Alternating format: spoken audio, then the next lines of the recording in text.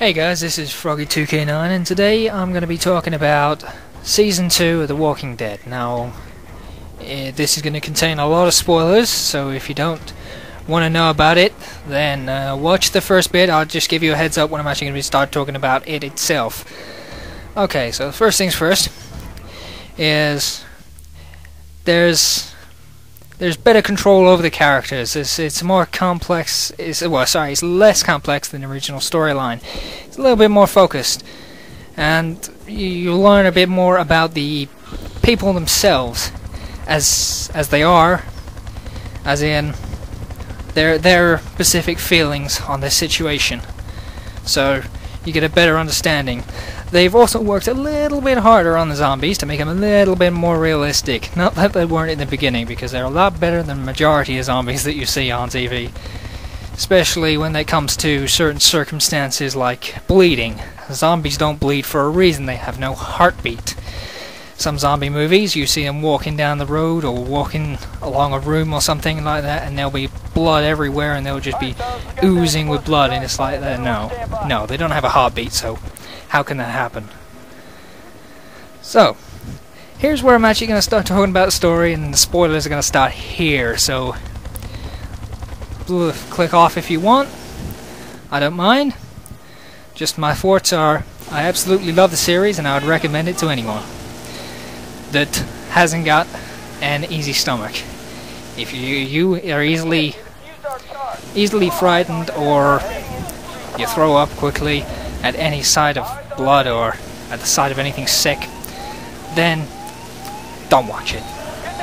But if you like horror type movies or if you like uh, survival type horrors, things generally like that, uh, good storylines, but you don't mind gore or anything like that included in it, then it's the place to go. Okay, so click off now if you don't want to hear spoilers. Okay, so first of all, in the first in the first season, they never less they never left the, their city. I think it's Atlanta. They never left the city. They were always at a uh, at a quarry just outside the city. There's uh, this place where they got they went to, and they stayed there for a long time. So they decided to move on after they talked to a scientist in the first season and he said something to him. This made them want to move on, to go somewhere else, to do something. So, they moved on. But down the highway, they reached a blockage. Basically, the highway was full of cars that had just been abandoned. Naturally, I saw it coming. It was not really well hidden. No, something you just expected to happen. But it was good. It was alright. Refilled with supplies and stuff from other cars. But then something happened. Again, I kind of expected it. I didn't expect it in the way they put it across, but they found a new type of sort of they found a new a new system of naming their zombies. Basically, uh, they call a big group of them a herd. They come up with this name accidentally. It was quite funny the way they come up with it, but it was like they were walking along like a herd, and it was like, yeah, let's use that. That's a good, that's a good idea of what to call them, a herd. So their new their new name for groups of zombies that walk together is a herd. Basically, while this herd was coming along the road, they had to hide, and they had to hide fast. So they decided underneath the cars. It was an okay plan until the little girl that was with them screamed. And the zombie gone down. The zombie tried to crash her under the car. She ran off. So the guy ran off after her. They managed to, uh, well, he managed to guide the zombies away. The two that were after the little girl. He killed them, but by the time he got back to where he left her, she was gone. She was just gone. This started a little feud in the between in between the survivors themselves. They started getting they started against each other, but in the end they managed to pull themselves back together and start working as a team again. But there was still this feud that went on between them. And then um, the mother of the the mother of the boy there she managed to uh, she managed to say something which got their attention, got them to realize what what exactly is happening and why they are completely wrong in what they're doing. While walking along, they they uh, a church bell rang. Obviously, they were like, it's either her, in which case she's going to attract a shit ton of zombies, or it's uh, or it's just a random church bell. So, by the way, the audio failed there. If there's a little glitch or anything, so uh, the audio failed. So I decided instead of recording the whole thing again, just record this bit. So, continuing on. Uh, they walk up to the church, and it turns out there are zombies in the church. They kill the zombies. Whatever, it happens, happens.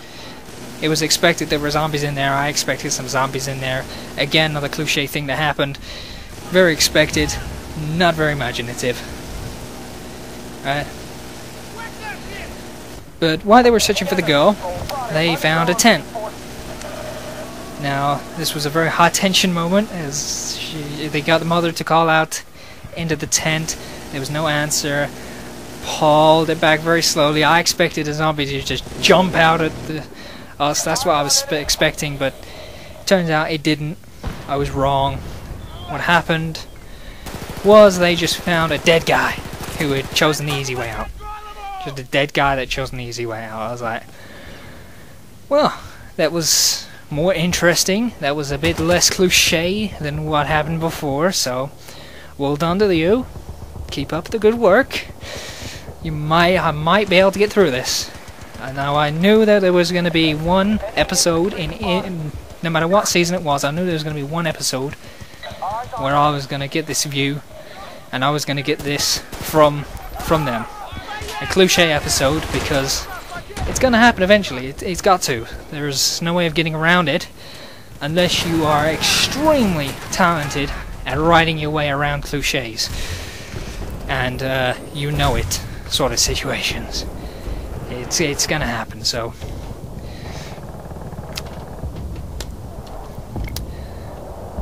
But the end of that episode really got me. I can't wait for the next episode because I want to know. I just want to know. This is a big spoiler, right? The boy, the boy, and his dad and the random redneck type guy walking through the woods stumbled across a deer. Right? Stopped him from killing the deer because it was number one the deer was okay, the deer was fine, so but the kid was amazed. It's just I would be amazed. I would just be like, Wow, look at that. Such a beautiful animal and I'd go up and try and touch it. This is what the kid tried to do. While walking up to it, I was the tension was building. I was so expecting a zombie to just pop out of the wood and grab hold of him, start ripping him to pieces. But what actually happened was a bullet went through the deer and hit the boy. I want to know if he survives. I want to know what happens next. I want to know if a zombie comes out of nowhere and they're they end up having to drop him. I want to know what happens next. I want to know. I can't wait for the next episode. It's been Frogy2k9. Please rate, comment, and subscribe.